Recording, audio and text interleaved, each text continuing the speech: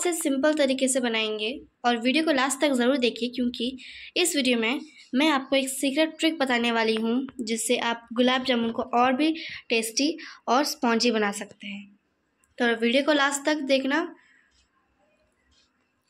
Hello friends कैसे हैं आप सब लोग? स्वागत है आपका मनीषास कुकिंग किचन में। आज हम बनाने जा रहे हैं गुलाब जामुन। तो चलिए गुलाब जामुन बनाना शुरू करते हैं। बिल्कुल सिंपल रेसिपी है और जल्दी बन के रेडी भी हो जाएगी। तो चलिए शुरू करते हैं। तो मैं आपको बता देती कि मैंने यहाँ पे क्या क्या ले रखा है। सबसे पहले मैंने यहाँ पे दो पैकेट गुलाब जामुन का ले रखा है। फिर मैंने यहाँ पे एक गिलास पानी का ले रखा है।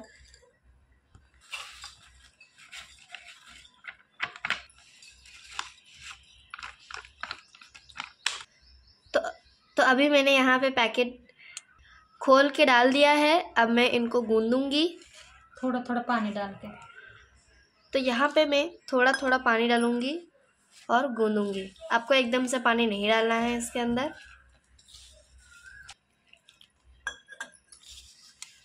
ऐसे करके इसका डो बना लेंगे हम इसको। तो ये देखिए मैंने आटा कुछ इस तरह से गूंद लिया है।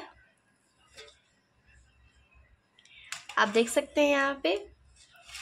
अब मैं इसके ऊपर थोड़ा सा तेल डाल लूँगी दे देंगे हम इसको कुछ इस तरह से भून लेंगे तेल लगाने के बाद वापस से। तो ये देखिए, हमने आटे को वापस से हमने इसको गूंद लिया था। अब हम इसको पाँच मिनट के लिए ढक के रख देंगे। तो मैं अभी आटे का पाँच मिनट के लिए ढक के रख देती हूँ। जब तक ये आटा हमने पाँच मिनट के लिए रखा हुआ है, तब तक हम पाक बना के रेडी कर लेते हैं। तो गैस ऑन कर लेते हैं हम। पैन हमने गर्म होने के लिए रख दिया है। पैन हमारा गर्म हो गया है। अब मैं इसके अंदर आधा किलो चीनी डाल लेती हूँ।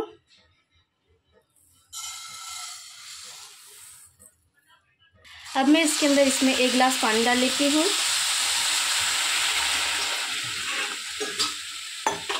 अब हम इसको थोड़ा सा मिक्स करते रहेंगे।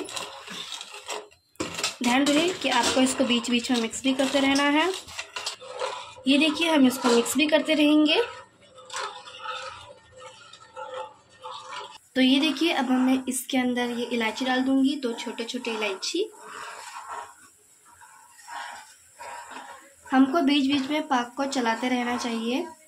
तो हम लगातार पाक को चलाते रहेंगे। अगर आप इसको नहीं चलाएँगे तो ये नीचे नीचे लग जाएगा और जल जाएगा पूरा। तो ये देखिए, हमारा पाक बन के रेडी है। अगर आपको पाक चेक करना है तो कुछ आप इस तरह से इसको चेक कर सकते हैं।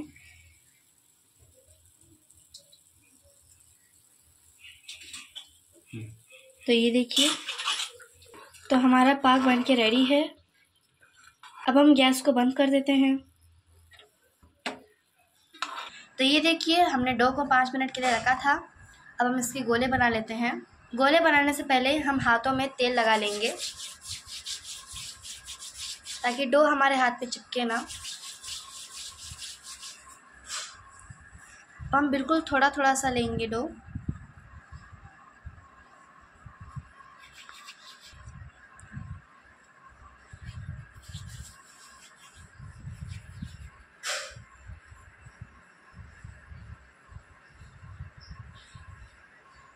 ऐसे कुछ छोटे छोटे सर्कल्स बना के हम रख देंगे।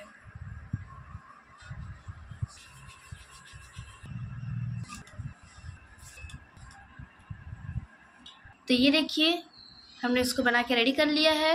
आप देख सकते हैं, काफ़ी ज़्यादा इसमें बन के रेडी हो गया है हमारा। तो मैं आपको बता दूँ कि एक पैकेट में फोर्टी पीसेस बनते हैं और हमने दो पैकेट लिए थे। तो हमारे अस्सी पीस बने हैं, आप देख सकते हैं यहाँ पे। चलिए इसी के साथ अब आगे बढ़ते हैं तो मैंने यहाँ पे तेल गर्म होने के लिए रख दिया है अभी। तो चलिए तेल हमारा गर्म हो गया है। अब जो हमने ये गोले बनाए थे, अब इनको फ्राई कर लेते हैं हम इसमें। तो यहाँ पे मैंने गैस को लो फ्लेम पे कर, किया हुआ है। अब मैं लो फ्लेम पे इनको फ्राई करूँगी। एक एक करके हम धीरे धीरे इसमें डालते जाएँगे। और मिक्स करते रहेंगे इनको। अच्छे से ब्राउन होने तक हम, हम इनको फ्राई करके ले लेंगे। तो ये देखिए हमारे अच्छे से फ्राई हो गए हैं।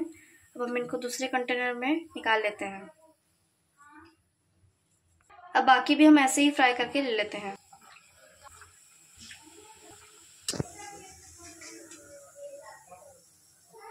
तो ये देखिए, मैंने सारे अच्छे से फ्राई करके ले लिया है, यहाँ पे आप देख सकते हैं। तो अभी हम इसको पाक के अंदर डाल देंगे। हमारा सब बन के रेडी हो गया है। तो हम इनको पाक में डाल देंगे। तो ये देखिए, मैंने सारे इसके अंदर डाल दिया है। अब मैं इसको आधा घंटे के लिए ढक के रख दूँगी। तो चलिए, मिलते हैं आधे घंटे के बाद में। तो ये देखिए, हमारा गुलाब जामुन बन के रेडी है। सिर्फ़ पाँच मिनट लगे आपको इसको बनाने में और कितना सिंपल था इसको बनाना, आप देख सकते हैं। तो चलिए, अब मैं आपको अंदर से भी थोड़ा सा तोड़ के दिखाती हूँ।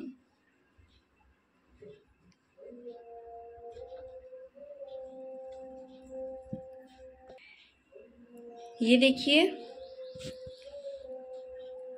तो ये देखिए।